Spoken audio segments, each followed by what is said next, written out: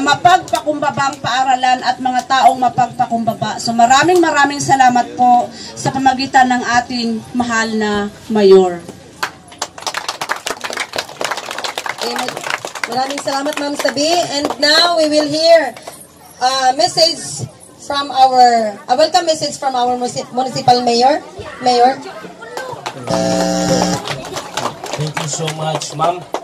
Uh, my due res- respect, of course, to our visitor, the Tinalak Riders of South Cotabato, headed by uh, the Pugi, Vice Mayor Peter Miguel. Thank you so much, sir. And the rest of the group, thank you so much in behalf of the Manobo people in Senator Ninoy Aquino. My highest courtesy, of course, to the teachers headed by Ma'am Sabilita Tungkilan.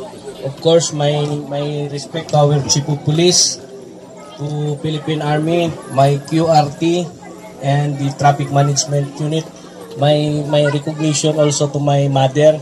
Yes. sa tanan, very supportive. Yay! So, amo gali ako nga nanay. Ah, Nanay basi ako nga nanay. So thank you so much. Actually, ah ini nga plano sila gini nagplano.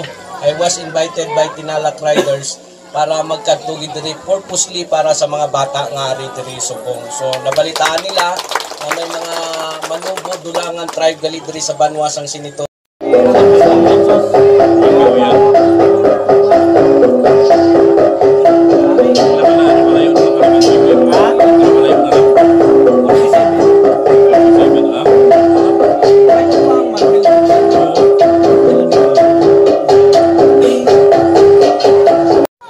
Junjun Lakdo isiya.